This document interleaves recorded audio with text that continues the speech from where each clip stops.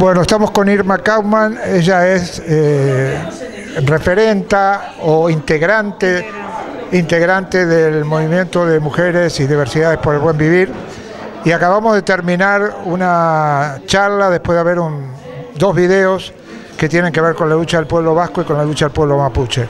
¿Qué reflexión tenés de lo que has visto y cómo te has sentido este, después de ver esto?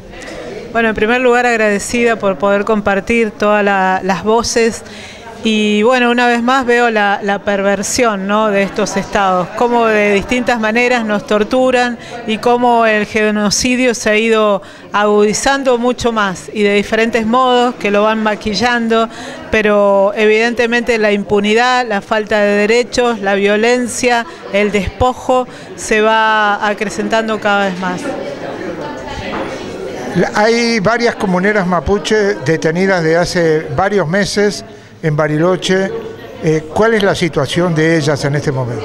Sí, no son comuneras, son la mien, entre ellas sobre todo la autoridad espiritual nuestra, que es la Machi Betiana Coloán, y la verdad que están desde el 4 de octubre presas injustamente, con total impunidad, con falta de derechos. Como yo comentaba hace un rato, en un principio no sabíamos si estaban desaparecidas, dónde estaban, pasamos momentos terribles y lo siguen pasando, porque en realidad están con sus 11 niños eh, en una situación de, hacinamiento, de indefensión y, sobre todo total falta de derechos.